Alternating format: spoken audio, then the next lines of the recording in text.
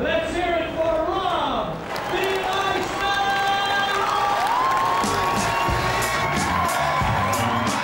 And anybody who is just uh, watching Catherine's uh, link into Cathy Davey there, you might have noticed she hit herself on the face of the microphone. If you have a Sky Plus box, what you do now is you rewind just before the Cathy Davey track and you'll see Catherine Thomas go, Whoa. Oh, yeah, yeah, yeah. As a cinematic experience, it was as good as I've had in, I'd say, six months to a year. Wow, man, thank you. You're like as good as I've had like two weeks. Yeah, yeah.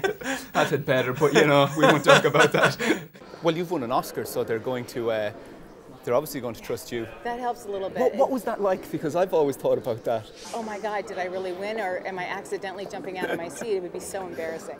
Most of the festivals around the country are all about the arts, the theatre, a bit of crack on the street. Killarney has all of that, plus it has all the outdoor activities that this beautiful area has to offer. Sunset Kayaking has my name on it tonight, and I fully intend on relaxing.